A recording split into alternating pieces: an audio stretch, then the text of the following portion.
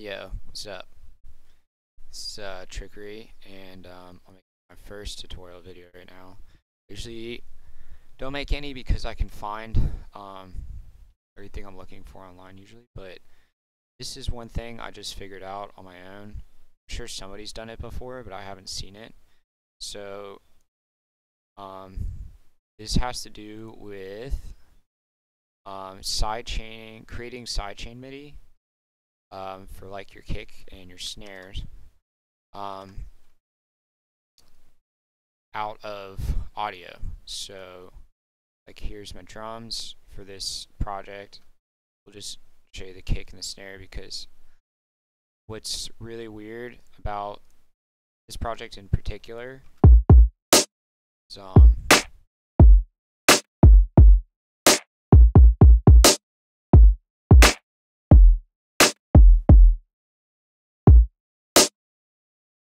so there was four bars. Um, as you can see, some of these kicks, and I think they were weirder too in this part. Um, I did a lot of like off-grid stuff because um, cause it's like supposed to be that weird, like wonky halftime style.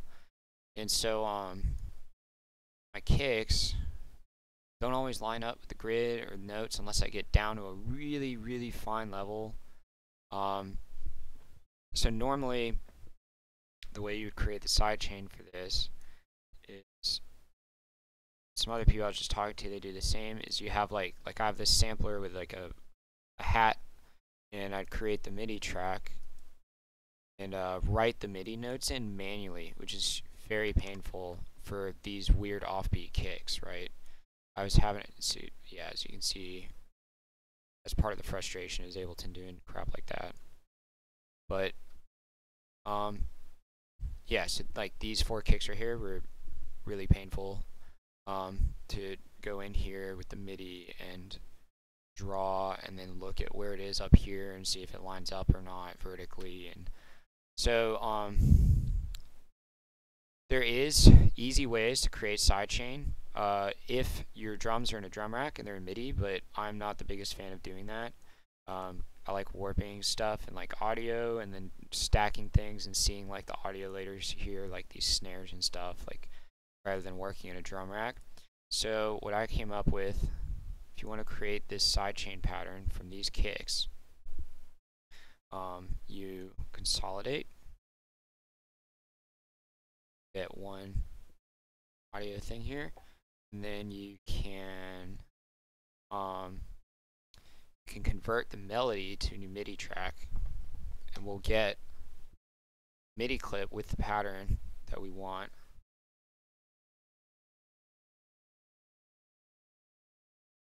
Yep. So this will have the same pattern as the um, the kicks, and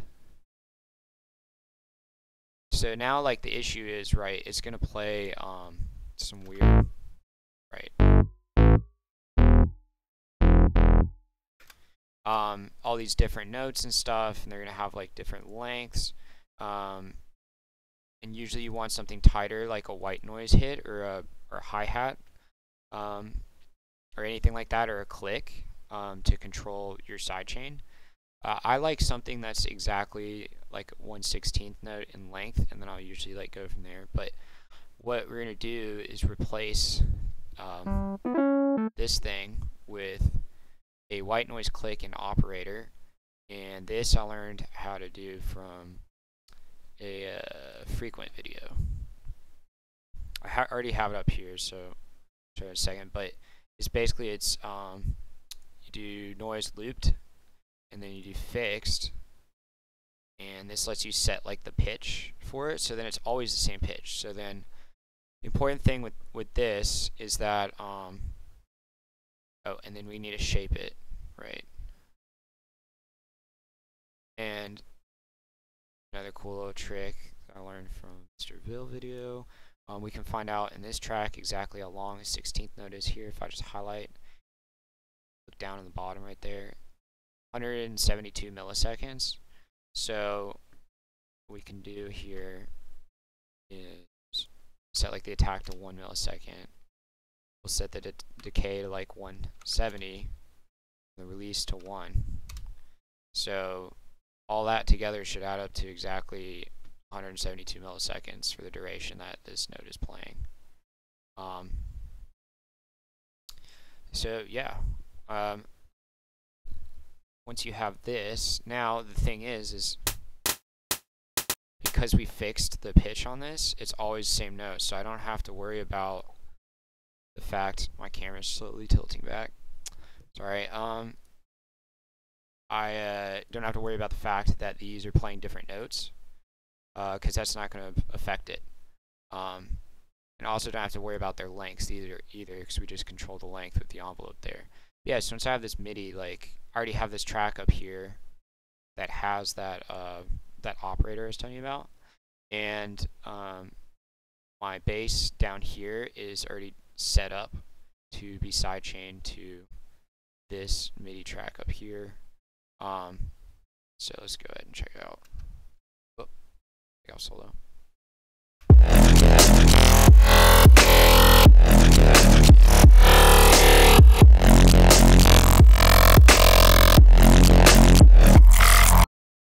Cool. Well, we forgot the snare sidechain is missing from that little demo there, but it's cool. You get the idea. Um, yeah, that's pretty much it. Uh, I hope this helps. You could clean these notes up and make them all like the same note if it's just driving you nuts, like OCD wise. You know, you just select them like this. There we go. We can make them all. I think like C3 is what the other ones are set to, but I said C4, whatever. All right. Um. Yeah, that was it. Um, I hope this helps anybody who prefers to do their drums in audio and is getting tired drawing the MIDI in. Um, yeah, thanks, and I'm going to put links to my music and stuff below too in case anyone actually stumbles across this tutorial. But peace.